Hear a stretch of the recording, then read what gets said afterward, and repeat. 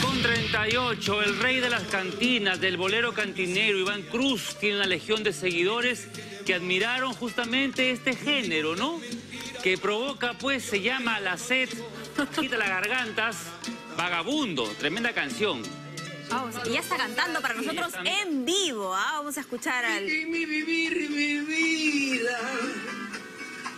Yo no soy malo con nadie. Ay, ay, ay, Karen no Herrera está con él. Lo más bonito Ya es no que canta así perdido. hermoso porque ya también Ya no puede escuchar. Karen nos trae todo los detalles.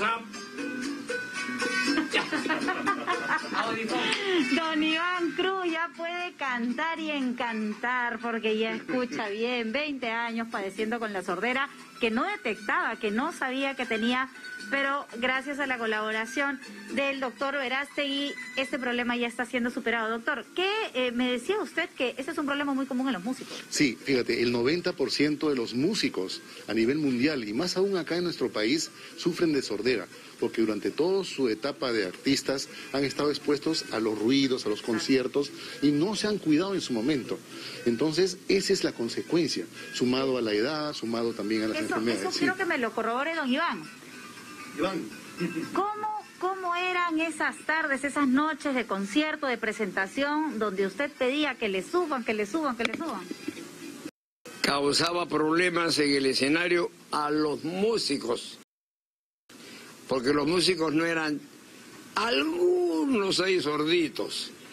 Pero el principal sordo es el cantante. ¿Por qué? Porque el cantante capta los sonidos de todos los instrumentos y eso es lo que lo vuelve sordo. Entonces, años y años y años y poco a poco, poco a poco, poco a poco, hasta que hubo un momento que yo ya no podía eh, escuchar a mi orquesta y tenía que hacer subir por medio del, del que maneja eh, eh, el, sonidista Ajá. eh, que- suba. Y, y señalaba el micro que suba. Señalaba la tumba que suba. Y, y- y ya el sonidista ya me miraba con bronco me miraba ya po- porque él le estaba haciendo A, a ellos les causaba un problema. le estaba causando problemas Y, doctor, y, y- y- y lo- y los demás músicos también se miraban entre ellos. Entonces, ¿yo qué hacía?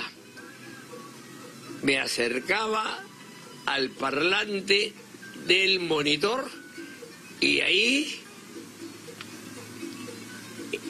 Trataba de escuchar. Trataba de escuchar. Don Iván, en casa también ha tenido problemas por no poder escuchar bien. claro, ¿Qué pasaba Eh, en casa con la esposa? yo quería cantar pues y quería escucharme. Entonces me acercaba yo al monitor. El monitor es un parlante que está adelante y, y ahí me ponía y me ponía a cantar. Don Iván, en su casa usted también subía mucho el volumen, su esposa se molestaba.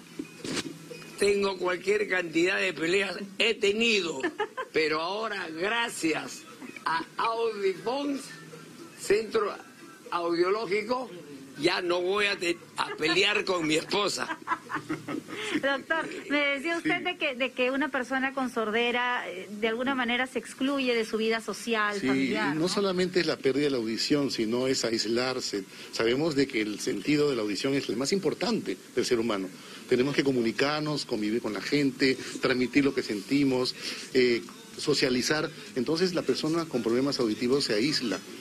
No está peleando con la familia, con la esposa, no- es incomprendido, No, además sube el volumen. Sube el volumen todo el tiempo y perturba al resto de la perturba familia. al resto de la, de la familia, ¿no? Y es una discusión permanente. Entonces no debemos llegar a este tema. Entonces una de las, de las políticas que nosotros tenemos es decirle a la gente, no esperemos a terminar con problemas auditivos severos para poder poner una solución. Don Iván, don Iván, usted está haciendo shows en casa y ahora que tiene su, su audífono, la gente entra a una cuarentena y va a estar aburrida. Invítelos a que vean su show. A ver, le voy a dar una primicia. Resulta que a raíz de la sordera, mi esposa duerme y ahora tiene su propio dormitorio y yo tengo mi propio dormitorio. Y, y me da bronca no poder dormir con mi esposa porque si yo prendo subo y ella le molesta. No, Pues. pues, pero ya tiene su audífono, ahora la regresa al cuarto. Ahora tengo mi audífono y mi agradecimiento a don Lucho Verasti, al doctor jefe del Centro Audiológico Audifons. Don Iván ha ensayado bien el nombre, él está muy agradecido y no es para menos. Es un músico y músico que no escucha no puede cantar. ¿Qué Usted va a hacer sus Karen, Karen, ya me cambió el nombre. ¿Qué- ya. ¿Cómo que Ketty? ¿Qué tiene cariño para usted? A Karina. Ya. Ya, Karinita, no quiero ser egoísta, pero compañero, compañera, artista, como yo, te darás cuenta que el 90% de todos los cantantes a nivel mundial Tienen problemas. paran así, porque son sordos. De repente estás pasando por eso. Acércate, hermano, lo más pronto posible. Ahí está la dirección. Ahí está el nombre y la dirección. Y tiene razón, imagínate, con toda la bulla, los Karin.